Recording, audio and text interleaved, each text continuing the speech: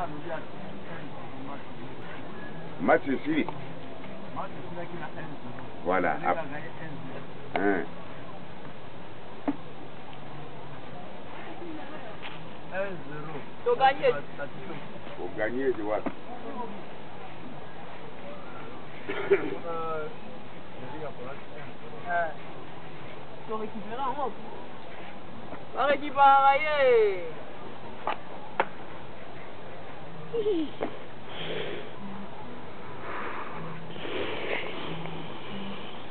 Coucou. Coucou, coucou. Coucou, coucou, coucou. Boubou.